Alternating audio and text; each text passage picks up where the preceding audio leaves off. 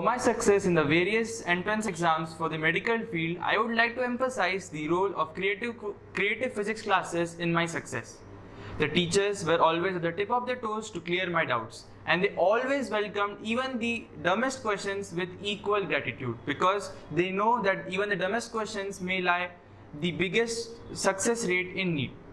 I would also like to emphasize their cooperative nature, their punctuality when they were at the classes. And I would also like to emphasize one of the examples that I have encountered.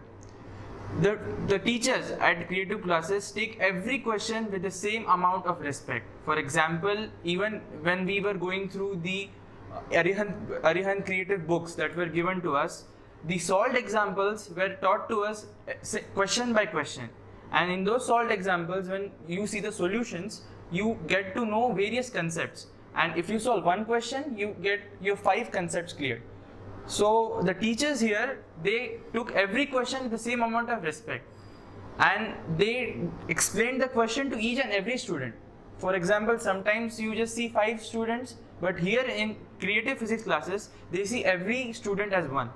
So they take into accounts the uh, probability of understanding for the weakest student as well and the, for the best student as well.